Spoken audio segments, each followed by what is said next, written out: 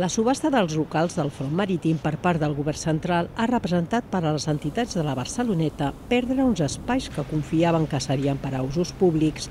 El canvi de titularitat no ha agradat al teixit veïnal del barri.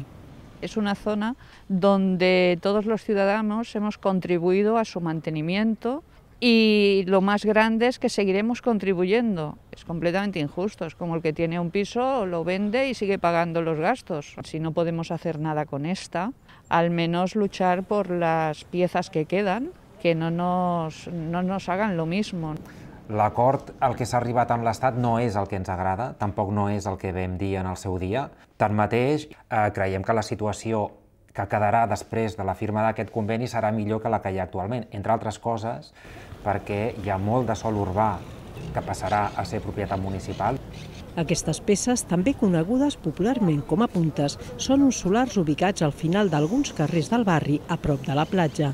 Des de fa anys les entitats treballen perquè es destinin a equipaments i habitatge social. Es una reivindicación que tenemos ya hechas en el señor Trías. Habían dicho que por ahí que había sitios municipales, porque como en el barrio no hay sitios para edificar, pues siempre íbamos buscando a ver dónde había y bueno, eh, salieron eh, esas puntas. Tenemos muchísimas esperanzas porque nos hace falta muchísimas cosas aquí en el.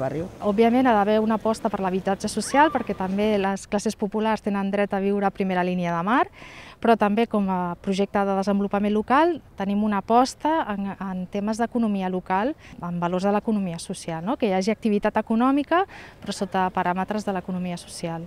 Les entitats de la Barceloneta no renuncien a aquests espais i per això han fet un front comú per aconseguir-los per al barri. Fons municipals informen que estan en la mateixa línia i que de moment tenen un preacord amb el govern central perquè les anomenades puntes passin a l'Ajuntament.